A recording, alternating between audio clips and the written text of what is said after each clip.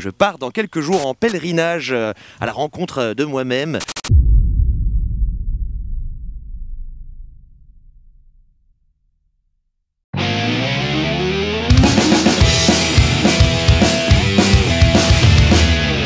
Le sperme Quel est-il Où vit-il Que devient-il Aujourd'hui, on passe en revue les idées reçues concernant la semence masculine. On commence avec la première. La nourriture influence le goût du sperme. Stop C'est vrai ça.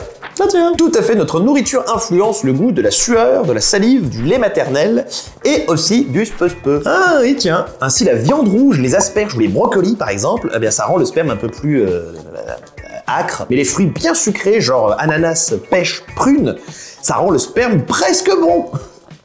Selon certaines sources, hein, parce que moi je ne sais pas. le- Donc voilà une raison supplémentaire, euh, s'il en fallait une, de bouffer du fruit tous les jours. Manger des pommes Au passage, il semble que certains soient vraiment fans ou vraiment affamés. Il existe un livre de recettes à base de sperme écrit à San Francisco par Paul Fotanauer et le festival Wild Food a proposé un milkshake au sperme de cheval en Nouvelle-Zélande. Euh, Vivement qu'on puisse reprendre l'avion. Faire du sport améliore la qualité du sperme. Bah si, bien sûr que si, c'est pas une idée reçue non plus. Bah dis donc, ça commence bien. Une bonne hygiène de vie de manière générale, veux dire, manger sainement, faire du sport, pas trop picoler, pas trop fumer, ça joue sur la fertilité. C'est normal, la nature fait en sorte que les gros pachas qu'on fout jamais une et qui se déglinguent la tête H24 aient un petit peu moins de chances de transmettre leur gène, enfin c'est logique. La position assise et le manque de mouvement interfèrent avec la production de spermatozoïdes actifs. Voilà, notamment parce que rester assis longtemps, eh ben, ça tient trop les robignoles au chaud. Donc voilà, si vous cherchez à avoir des enfants, soyez en grande forme, mangez sainement, faites campagne pour la qualité de vos gènes. Et aérez-vous les noix. Les noix, les fruits. Ah non, les noix, les noix. C'est la force de l'éjaculation qui détermine le succès de la fécondation. Autrement dit, il vaudrait mieux faire euh, que. Alors non Après, si vous copulez un jour où vous êtes en mode lance à incendie, euh, ça aide sûrement. Mais le succès de la fécondation est surtout dû à deux facteurs. D'un côté, la vigueur des spermatozoïdes, hein, car il y en a certains qui traînent un peu du flagelle pendant que d'autres euh, plus sportifs et vont grimper plus efficacement jusqu'à l'ovule. Et de l'autre côté, on a les muscles utérins de madame, qui par leur contraction aident les petits soldats à remonter les trompes de Fallope. C'est donc vraiment un travail d'équipe. Et en plus de ça, il y a la qualité de la glaire cervicale, une muqueuse protectrice dans l'appareil génital féminin qui maintient en vie les spermatozoïdes jusqu'à 5 jours. Parce qu'un spermatozoïde, quand ça finit dans un bain chaud ou dans un mouchoir en papier, ça meurt quasiment instantanément. Donc 5 jours On dit merci la glaire cervicale d'offrir tant de temps à nos petits messagers autopropulsés pour effectuer leur marathon. Et d'ailleurs, pourquoi cervical Ah oui, ça, c'est quoi le rapport avec le cerveau? Alors, cervical, ça veut dire relatif au col. Donc soit le cou, les vertèbres cervicales, soit le col de l'utérus. La muqueuse de l'utérus, eh bien c'est la glaire du col de l'utérus, donc la glaire cervicale. CQFD, MMO, RPG, RATP, SNCF, GPT, TDCD. Le premier spermatozoïde arrivé à l'ovule est le vainqueur. Un petit peu de Goldman. Allez, je suis chaud. Ah bah ça part. Nous avons tous été vainqueurs, même le dernier des derniers, une fois au moins les meilleurs, nous qui sommes nés. C'était super. Et oui, Goldman a raison, on est tous issus de spermatozoïdes vigoureux qui ont réussi à atteindre l'ovule, mais pas forcément en tout premier, hein Disons qu'on a dû faire partie du peloton de tête. Mais une fois que tous les finishers sont autour de l'ovule, eh bien c'est l'ovule qui va sécréter des molécules chimio-attractantes pour sonder et sélectionner le meilleur spermatozoïde, celui qui sera le plus compatible. En gros, t'as tous les heureux médaillés qui arrivent près de l'ovule et l'ovule leur fait passer des questionnaires pour voir s'il y a une compatibilité. Couleur préférée? Lila? C'est pour cette raison que parfois, les spermatozoïdes du monsieur sont en très bonne santé, les ovules de madame aussi, mais euh, ils tombent pas d'accord sur le questionnaire et décident qu'ils sont pas faits l'un pour l'autre. Ce qui cause des problèmes d'infertilité pour des couples qui s'aiment très très très très très fort, euh, mais qui n'arrivent pas à avoir d'enfants. La chimie est plus forte que l'amour. C'est ça. On peut éjaculer efficacement plusieurs coups d'affilée. Alors non. Alors, on peut tirer plusieurs coups d'affilée, certes, mais à chaque fois, il y aura moins de spermatozoïdes. Du coup, bah, c'est moins efficace.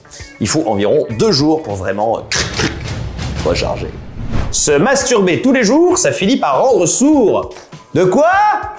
Oh, ça va, je plaisante. C'est évidemment complètement faux. En fait, il est même conseillé d'éjaculer souvent. Éjaculer au moins 20 fois par mois réduirait de moitié les risques de cancer de la prostate. Alors pourquoi c'est cool? Parce que le sperme contient des putrécines, des, substances cancérigènes, et éjaculer très régulièrement permet d'éliminer ces toxines. Évidemment, on ne vous conseille pas de pratiquer cette activité H24. hein. Retenez juste qu'une abstinence forcée à ce niveau-là, c'est pas conseillé. On peut faire un masque de soin au sperme. Oui, mais ça sert à rien. C'est vrai qu'il y a plein de bonnes choses dans le sperme. Il y a des vitamines, des protéines, des minéraux, des oligo-éléments, mais toutes ces bonnes choses sont en toute petite quantité. Elles sont là pour nourrir les spermatozoïdes et maintenir leur qualité. Donc si vous n'êtes pas un spermatozoïde, ça va pas vous apporter de bienfaits.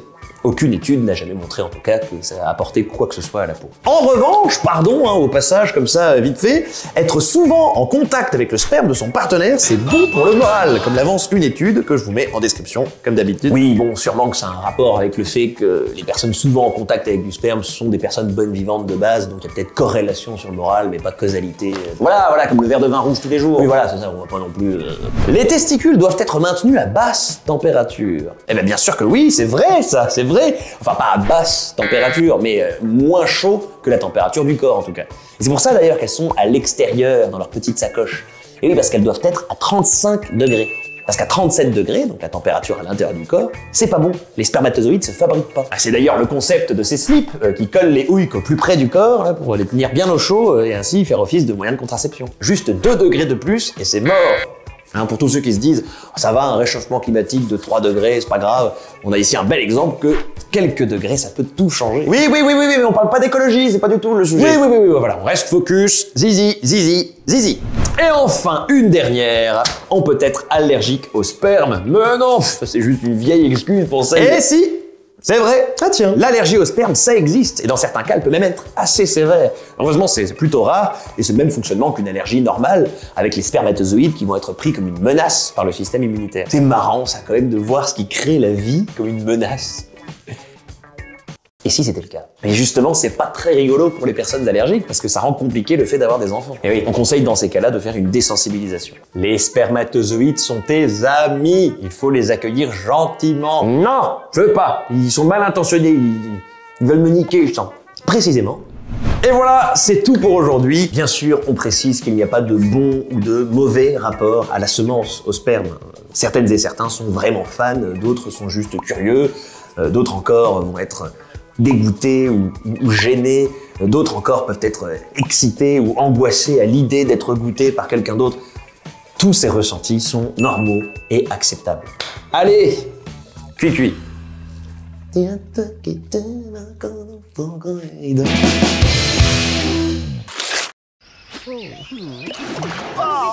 Arrête avec ton produit toxique La pollution est partout. Notre planète est en danger, d'accord. Nous, on va pas se laisser faire. Mais comment la préserver? Imaginez un monde sans déchets. Cécile, Mathieu et Max ont enquêté. L'enjeu du centre de tri, c'est de séparer toutes les matières, le papier, le carton, le plastique. Les zones humides peuvent aussi filtrer l'eau. Et vu ça les gars, je suis en train de créer une nouvelle colonie de corail.